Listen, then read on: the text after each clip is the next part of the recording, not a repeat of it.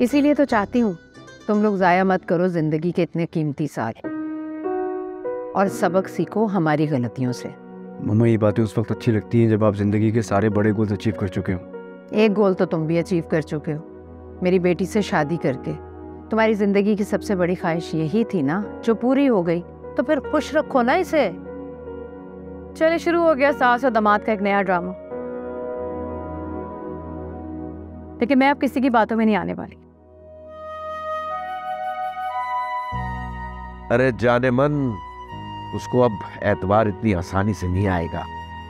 सारे मियाँ जाओ तुम भी अपना जिगर आजमाओ और सुनो हिम्मत ना हारना मेरी तरह। अरे भाई क्यों डरा रहे हैं बच्चे को?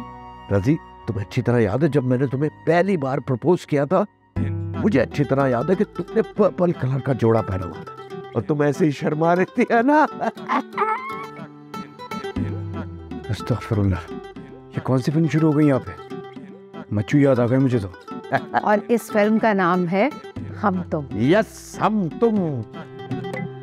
जी मैं चलता हूँ। यार रज़ी अल्लाह इन दोनों को खुश रखे। हूँ? आमीन।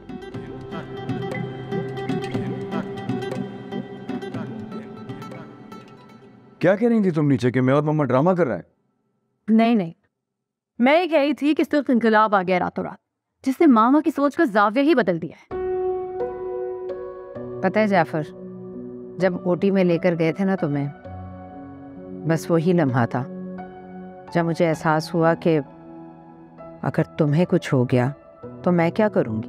राज़ी सच पूछो तो ऑपरेशन थिएटर जाकर मुझे भी एहसास हुआ कि मैं ही मान लेता तुम्हारी बात तो इतने साल तनाई का अजाब नहीं झेलना पड़ता। दुआ करो कि अब ये चाँद और तारा सीखें हमारे तजुर्बे से। आमीन। अल्लाह ताला इन्हें खुश रखे।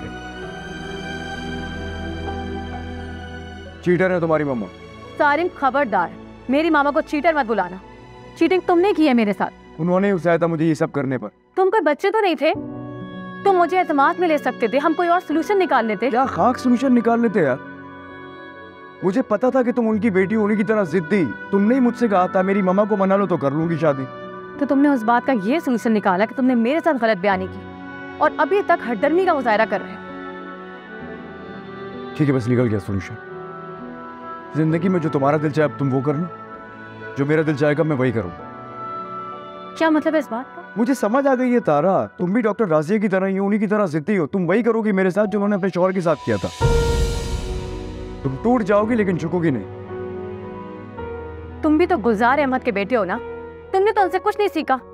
ना ही उनकी अपने खानदान से की जाने वाली मोहब्बत, ना ही उनकी अपनी बीवी से की जाने वाली वफा, और ना ही अपनी औलाद के लिए दी जाने वाली कुर्बानियाँ। काश कि तुम कुछ तो सीख लेते।